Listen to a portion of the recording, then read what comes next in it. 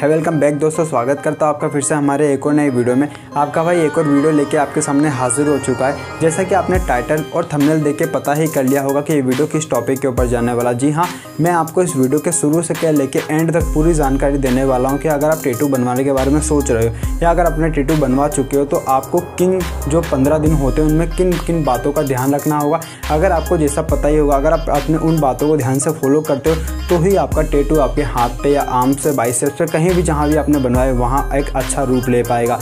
जैसा कि आप लोग को पता ही है टेटू बनवाने का आज ट्रेंड हर जगह पे हो चुका है। बच्चे से लेकर जो वृद्ध लोग होते हैं, उनके हाथ पे या कहीं भी, या लेडीज़ हो, या बॉयज़ हो, हर इंसानों में आज टेटू देखने का ट्रेंड देखने को मिलता है। लेकिन कई लोगों को आपने ये भी देखा होगा कि उनके हाथों पे जो टेटू बना होता है, वो ख़राब हो जाता है। वो किस कारण से ख़राब होता है? वो ऐसी कौन सी लापरवाही देते हैं जिसके कारण उनका टेटू पूरी तरह से बर्बाद हो जाता है और एक अच्छा रूप नहीं ले पाता है? तो इस वीडियो के एंड तक पूरी मैं जानकारी देने वाला हूँ कि आपको टेटू बनवाने के बारे में अगर आप सोच रहे हो या आप अपने टेटू को नए नए रूप से बनवा चुके हो तो आपको नए तरीके जैसे पंद्रह दिनों के अंदर अंदर कौन सी बातों को अच्छी तरह से फॉलो करना होगा? कौन सी चीज़ें खानी चाहिए कौन सी चीज़ें नहीं खानी चाहिए बाहर निकलना चाहिए या नहीं निकलना चाहिए मैं आपको वीडियो के एंड तक पूरी जानकारी देने वाला हूँ। आप लोग यही सोच रहे होंगे कि मुझे सब बारे में कैसे पता होगा? क्योंकि दोस्तों मैंने भी हाल में जैसा कि आप देख सकते हो मैंने भी, भी हाल में टेटू बनवाया हुआ है जिसके कारण मुझे किन किन प्रॉब्लमों का फेस करना पड़ा है। मैं अच्छी तरह से उन बातों को नोटिस किया हूँ, जिससे मैं अपना पर्सनल ओपिनियन आपके साथ शेयर करता हूँ।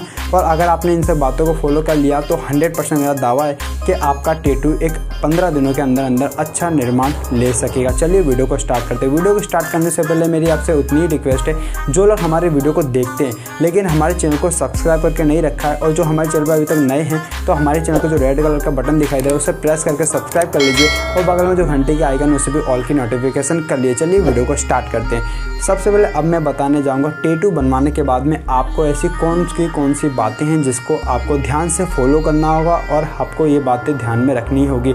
सबसे फ़र्स्ट है, अगर आपने टेटू बनवाया है तो आपको छः से सात दिन तक या ध्यान रखें कि कहीं भी आप धूप में निकलते तो आपके टेटू पर धूप ना पड़ पाए। क्योंकि अगर आपका जो धूप है, जो सन का होता है, वो सीधा प्रभाव आपके टेटू पर पड़ता है, जिसके कारण उनमें दाने निकलने की संभावना बढ़ जाती है और दाने निकलते ही वो आपके टेटू को पूरी तरह से ख़राब कर देते हैं। सेकेंड है, आपको टेटू बनवाने के बाद में ऐसी कौन कौन सी चीज़ें जो आपको नहीं खानी चाहिए? क्योंकि जैसा आप खाओगे, वैसे ही आपका शरीर में प्रमाण देखने को मिलेगा।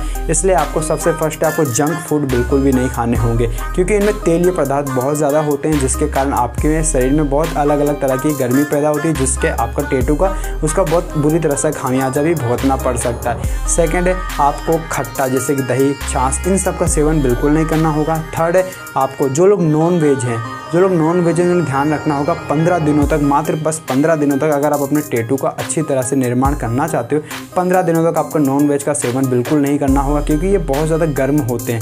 गर्म हो, क्योंकि हमारे टेटू को गर्म बिल्कुल भी नहीं चलेगा।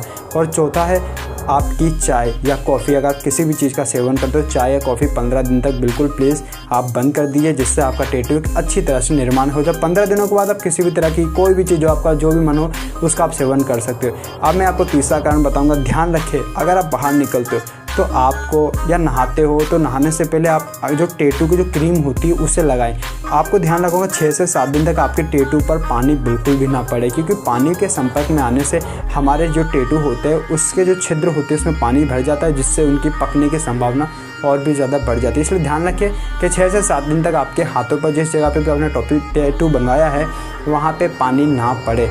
और चौथा है जब आप टेटू बनवाते हो, कहीं से भी आप टेटू बनवाते हो तो आपको टेटू जो टेटू रॉन्ग आता है उसकी क्रीम आती है। जो टेटू जो बनाएगा, उसको आपको वो टेटू की क्रीम देगा। आपको उस क्रीम से तीन से चार बार, दिन में तीन से चार बार हल्के हल्के हाथ, उंगलियों की मदद से उसे रफ़ कीजिए। जिसके कारण उसके अंदर मॉइस्चराइज बना रहे और आपके कभी भी जो चमड़ी निकलेगी, जैसा कि आपको पता है चमड़ी निकलना ही निकलना टेटू बनवाने के बाद में तो आपकी वो चमड़ी धीरे धीरे निकले, जिससे आपके पेन ना हो। अगर पेन ना होगा तो आपका धीरे धीरे जो चमड़ी निकलेगी तो आपका टेटू एक अच्छा निर्माण ले सकेगा।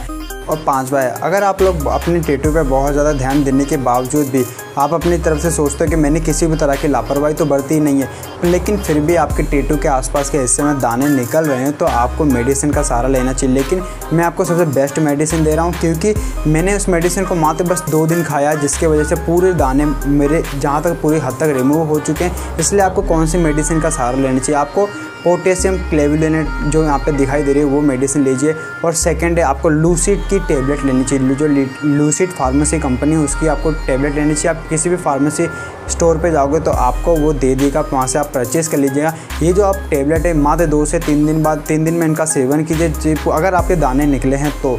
वो वहाँ से पूरी तरह से दाने रिमूव हो जाएँगे। लेकिन याद रखना होगा, दाने आप जहाँ तक वो कोशिश कीजिए, आप किसी भी तरह की लापरवाही ना बरतें, क्योंकि दाने निकलने की वजह से आपका टेटू पूरी तरह से ख़राब भी हो जाता है। इसलिए 100 परसेंट ध्यान दीजिए कि आपके दाने ना निकले, किसी भी तरह पर किसी भी तरह की आप लापरवाही ना बरतें अपने टेटू को लेकर। तो दोस्तों, ये वीडियो की जानकारी आपको कैसी लगी? अगर आपको किसी और भी टॉपिक पर वीडियो चाहिए तो हमारे कमेंट बॉक्स में कमेंट करके ज़रूर बताइएगा। और अपने भाई की फैमिली का हिस्सा बनने के लिए हमारे चैनल का जो रेड कलर का बटन दिखाई दे रहा है, उसे प्रेस करके सब्सक्राइब कर लीजिए। बगल में जो घंटे आइकन दिखा रहा है, उससे भी ऑल की नोटिफिकेशन कर लीजिए। तो आज के लिए बस इतना ही तो धन्यवाद दोस्तों।